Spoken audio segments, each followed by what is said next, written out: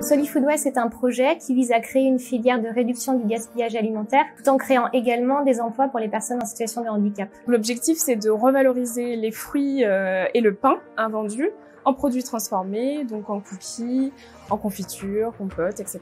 Nous revalorisons les, les produits euh, en ESAT. Donc les ESAT, ce sont des établissements de services et d'aide par le travail.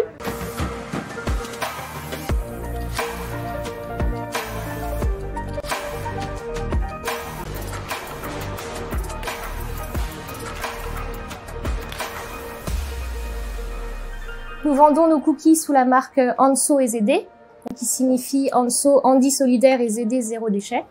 Et c'est en fait des, euh, des, euh, des pains invendus qui fabriquent dans le cookie. Pour la partie fruits, en plus de revaloriser en confiture, euh, on travaille sur différents projets. Par exemple, avec une boutique où nous proposons des smoothies, fruits et légumes. Le procédé est adapté aux travailleurs handicapés parce que nous avons choisi des outils euh, qui facilitent l'épluchage, la découpe. Et par exemple, on utilise des stickers de couleur également pour euh, bien les aider à associer chaque recette avec une machine. Euh, ou L'objectif pour les travailleurs en situation de handicap, c'est d'acquérir de nouvelles compétences, c'est de participer à cette transition écologique et sociale.